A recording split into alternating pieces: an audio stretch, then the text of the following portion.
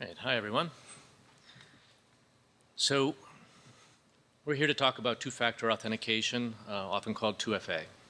Uh, who here actually uses two-factor authentication today? How many of you think two-factor authentication is a good user experience for mom? How many of you use uh, or are familiar with Authy? Okay, so there's a lot of Authy users. We're actually a, a, a long-time partner in the Bitcoin industry.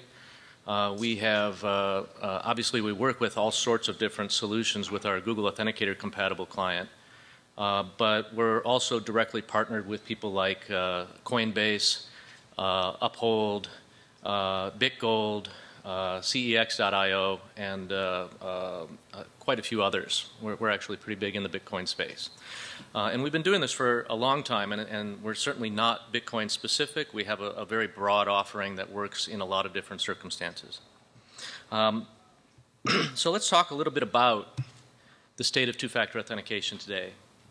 There are really four main consumer, customer friendly ways of doing two factor authentication. I mean, there's a lot of different ways to do two factor that requires devices or complex circumstances, but if you really want to make it easy, there's really only a couple of things that are working today. Push is the latest one of those things, and this is really the direction that the analysts and the industry is pushing people towards, uh, no pun intended. Uh, push is a way to get rid of those numbers and tokens. This is the solution that mom might actually use. Software and hardware tokens. Uh, this is a solution that's been around for a while. Google Authenticator made it popular. Uh, RSA tokens are a type of uh, solution that does this. It's just a, an offline token generator that uh, gives a user a, a number that they can type in and it can be validated on the other side. SMS, this is kind of a, a, a, lowest common denominator solution. Most people can actually receive an SMS uh, and respond to it. Doesn't work everywhere. When you're traveling, it doesn't work. It can be very expensive uh, elsewhere. Sometimes there's delays in the network. Uh, and it's not as user friendly as it could be, but it does work in a lot of circumstances if the user doesn't have a smartphone or they don't want to install an application. Uh, and then finally, uh, voice is a good fallback for people that don't even have SMS capable phones, or maybe somebody that can't actually use uh, a, a text based system, uh, uh, somebody with a, a, a vision disability. now, push, push based authentication is by far the most secure, the most user friendly, and the most reliable, and that's really why the industry is kind of going that way. But it doesn't apply in all cases. Push requires an online connection, so you might need some fallbacks. And so uh, the best type of solution will incorporate all of these types of options so that the user can make the choice for their particular circumstance of what's going to work for them at that moment in time. Um, but uh, with, with push, the user interaction is, is much better, and you're going to see that in a little bit. And the security is better. Why is the security better? Uh, one problem with uh, SMS is that you don't actually control the whole channel for that SMS. There are some places where it could conce conceivably be captured, um, but more importantly, with both SMS and token, uh, you have a phishing potential attack. Somebody can put up a fake site and capture both your username and password and a valid token and immediately get in and just give you an error message and ask you for another token. Um, so, so there are some security risks, and with push, it's actually a digitally signed bidirectional communication between the user's device and the service that's uh, authenticating the user. And there is no man in the middle attack, there is no opportunity there, so that's really why it's more secure. It also gives the user more context, more information about what it is that they're actually approving or, or uh, what, what transaction they're actually committing to. It's transaction specific rather than just a generic number. and because of that, it extends well beyond uh, just logging in or changing your password. You can use this for actual transactions. You can just prompt them just that second factor uh, and make, the, make sure that they have their phone.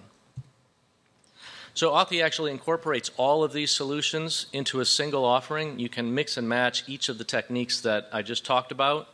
Uh, our Authy One code is our SMS and voice component. Uh, Authy Soft Token is our, our soft token or token generation uh, solution that works offline and Authy One Touch, which was uh, released last year, is uh, our push-based authentication solution.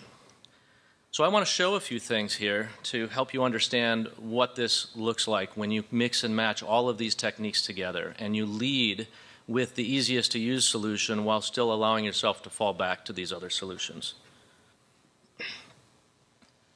I'm going to start with a, uh, a customer example here. Coinbase has been using us for about uh, four years, and uh, uh Coinbase has implemented their solution in a, in a very particular way that I think provides a good user experience and can demonstrate a value add that we provide over a Google Authenticator style application. So I'm going to sign in here.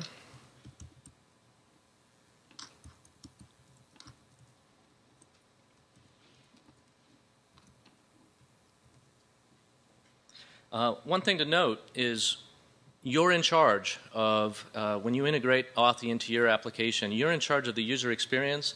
You're in charge of the decisions like, hey, am I going to allow them to stay signed into this computer? Nothing really changes in that process. Authy's role is to make sure that the user has this device and when they're working with this device that their user experience is awesome. That's really what we do. You get to control uh, within your application. Your application does not need to be a web application. Coinbase also integrates us with their mobile application. So uh, uh, I'm showing the web version here, but uh, uh, want you to be clear that this works in virtually any solution. Because we are cloud-based, we are API-based, it's very easy to integrate with us.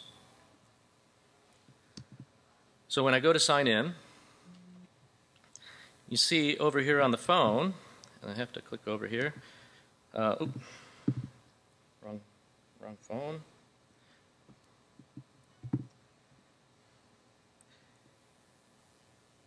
It actually, if I clicked on the right phone, it would have uh, brought me straight to this, uh, straight to the application using the push notification and straight to this Coinbase token. And that's one of the value adds.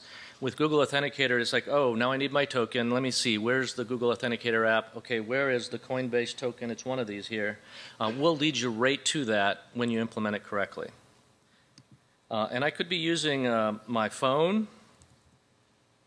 I could be using my uh, Chrome application that works on any desktop, Windows, Mac, Linux. Uh, I could be using Android. I, could, I, I, have multiple device capability with this, so I, I have some redundancy over just a text message, which is only going to come to my phone.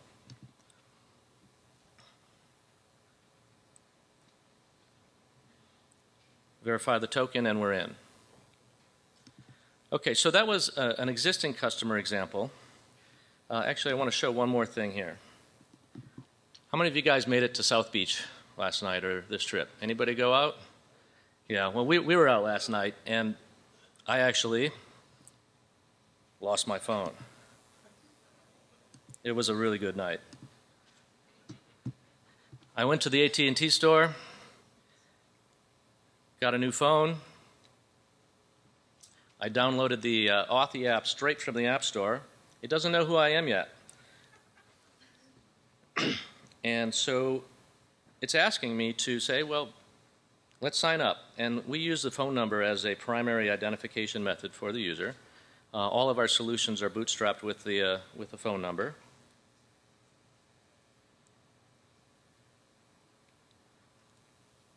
And it's going to say, well, okay, well, you're setting up. I see you already have an account. How, how would you like to verify this, uh, this device?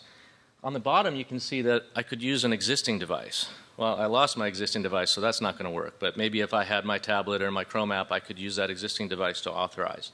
Uh, in this case, I'm just going to use SMS, and we're going to get an SMS sent to my brand new phone where they transferred the phone number to it.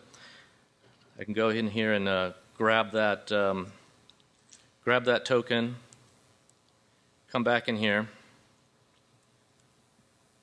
and it's going to bring everything back down. Authy and Google Authenticator compatible tokens are all here. Now, if any of you that use Google Authenticator have ever tried to move to a new device after losing the original device, this is a really painful experience. And this is one big thing that we do for our end users is make sure that they can continue to operate uh, securely and reliably while still being able to accidentally lose their phone, break their phone, uh, and provide those redundant options with multi-device. One of the things I can do as an end user, oh, Here's all my devices that I actually trust.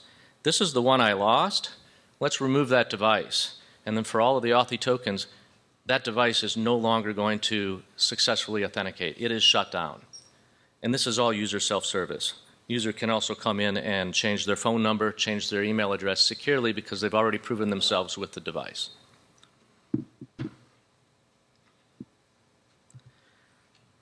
Okay. Um, so Coinbase is actually currently working on implementing uh, uh, Authy One Touch into their solution along with a lot of other uh, uh providers. It is relatively new. Uh, so to show you the uh, complete consolidated solution, I've got a sample application put together here. It's called Allbank. I'm already registered for two-factor in Allbank, so when I press login,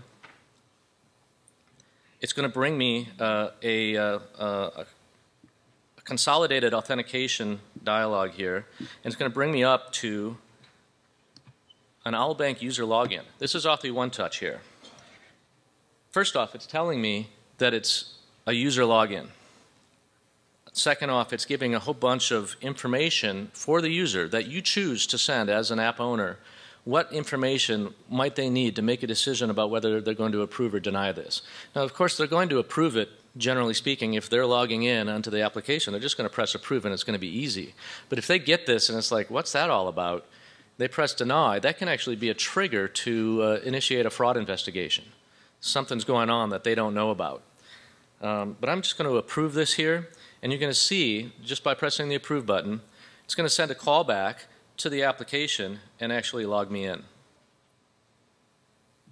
So now I'm in the application. Let's, uh, let's uh, do a money transfer. We're going to send $2 million to uh, the North American Bitcoin Conference. Thanks for all the hard work.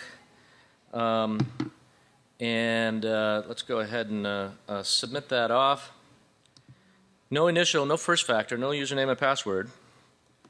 Um, but here's the transaction. You can see that the information changed. I'm sending money to TNABC. It's $3 million, $2 million. And it's like, well, I didn't mean to do that. I don't know what's going on. Let me deny that. And it'll actually go ahead and uh, uh, deny it, put it in my denied queue, and uh, send that receipt back or send that signed transaction that I denied this back. Because the details of the transaction are actually signed by the private key on each unique device, uh, you actually have some level of non repudiation. You know exactly what was approved or denied. It's not just a token authentication, it's actually a transaction with details that they approved or denied. This could be used in circumstances a little different than what I showed here. It could be used for a parent-child relationship. The child is trying to buy something on, uh, uh, on his gaming site, and the parent could get a notification while they're at work. Uh, Jimmy wants to buy some, uh, some tokens. And you could approve that. You could turn this into a multi-approval system. Maybe the bank manager has to also approve this size of a transaction. And you can create that out-of-band uh, uh, solution yourselves, you as the application owners, can define what, how this all works. Uh, so I promised I would show you how the different solutions work together. So far you've seen one touch inside Allbank. Uh, let's go ahead and um, log off here. I'm going to put my phone, my brand new phone that I just got, into airplane mode.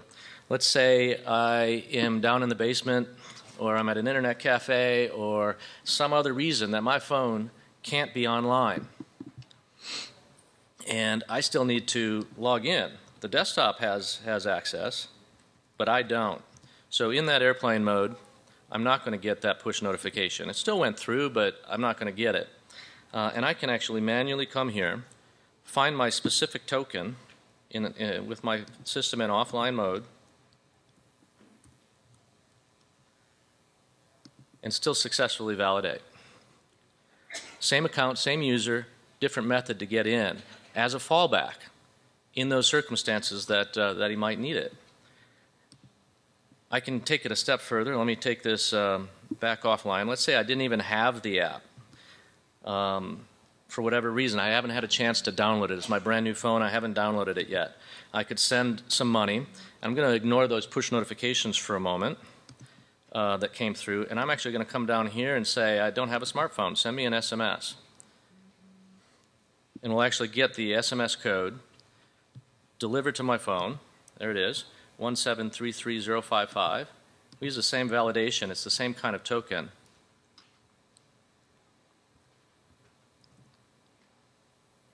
Now I got in with SMS. I created this, this dialogue. You can actually control that entire user experience. You can do it slightly differently. You have a lot of options, a lot of flexibility to do this. How many people in the room are actually developers or work at a software company? Couple of you here? All right. So one of the things we hear, I mean, developers are brilliant. They're amazing people. They can build anything. Why would you use Authy if we could build this ourselves? And so I'm going to talk a little bit about the justification for why you would consider a service. First off, you guys aren't in the two-factor authentication business. You're in the Bitcoin industry. Your focus is in a different place, as it should be. Our focus is entirely on uh, two-factor authentication and staying current in that two-factor authentication. Let's talk about what Build It Yourself looks like. You have a, a, user set, a set of users and an application that you own and you have your users. Uh, you want to control how the user logs into your application, how two-factor is implemented, when it's actually called. You want to be in charge of that. You don't want to trust somebody else to make those decisions for you. Your business case is unique. You want to be able to challenge when you think it's right. And of course, you need to implement the profile logic on how you actually turn on two-factor in the first place. If you want push, you're going to have to build that push logic with Apple and Google, maybe Microsoft, uh, anybody else. Uh, you could maybe use a consolidation service for that push logic, but you need to build that. Um, you also have to have an application that can respond, receive those notifications, and allow the user to approve or deny. Now, you might have an application already, and with Authy, you can use our application or you can use our SDK. Uh, but um, if you use Authy's application, you're going to get that all built for you. You never even have to go on the mobile side. Then you need to arrange for that callback that you saw that actually automatically gets the user logged in when they press approve or deny to, to maintain that user experience. If you want to back down to one-time passwords, you need to have the one-time password logic system in your solution. Uh, if you want to fall back to SMS or voice, well, you're going to need to have a gateway, and then you're going to need to have some vendor relationships. We take care of all of this. We have a very intelligent routing system. Uh, something you may not know is Authy was purchased by Twilio last year. Uh, and we're actually, we've always been running on Twilio, but we run on a whole bunch of different providers globally. We take care of that for you. Then you need to monitor, do the security testing, host all of this infrastructure to make this work, and then maintain it. Uh, every time a new uh, operating system comes out on mobile, you need to make sure that you're ready for it because this is authentication we're talking about. You need to make sure that you're ready for it before that operating system hits the streets. And then you need to support the two-factor components that you've added to your application. So let's talk about how it looks with Authy2FA. You still have the application, still have the users. You still control that login logic, the 2FA logic, turning it on, the profile logic. That's all your, in your control. Everything else is either in the Authy cloud service or the Authy application or the Authy SDK on, on the mobile device. We take care of that security testing, that load, that scalability, the monitoring, and we actually even provide end user 2FA support as part of our offering. What's so special about us? Uh, we've had five nines since 2012. We've been through Coinbase's ups and downs. We've seen every attack under the sun, and we've responded and built all of what we learned into our platform, into our solution. Uh, we're proven. We have over 2.6 million users and uh, uh, 12,000 integrations today. And I think probably most importantly, a lot of really big companies have chosen to use our service when they are certainly capable of building it themselves. Uh, uh, Coinbase, BitGo, um, Dell, Twitch just went live for all of their users. Uh, if you're a developer, maybe you know about Atlassian. Atlassian just signed on to turn on Authy2FA for all of their users. Uh, Cloudflare has been a customer for a very long time. They only offer Authy because we offer the solution that reduces their support costs dramatically over a Google Authenticator implementation. So if you have any questions, just stop by our booth or visit uh, www.authy.com. I'll be outside, and thank you very much.